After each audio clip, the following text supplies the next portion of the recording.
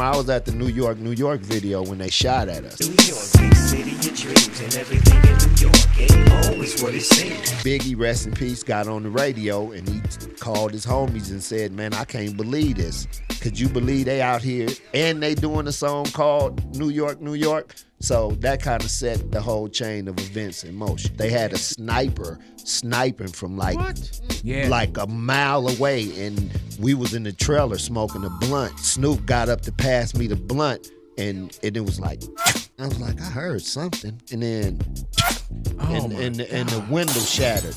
And so I grabbed Snoop and threw him on the floor, and I'm like, they shooting. And Superfly, Kurupt, everybody just got down, you know, got down on the floor. Security came, they was on point. They rushed us out. That's when Snoop got mad and said, all that. And he start kicking over the buildings in the video and all. Ready to put work in.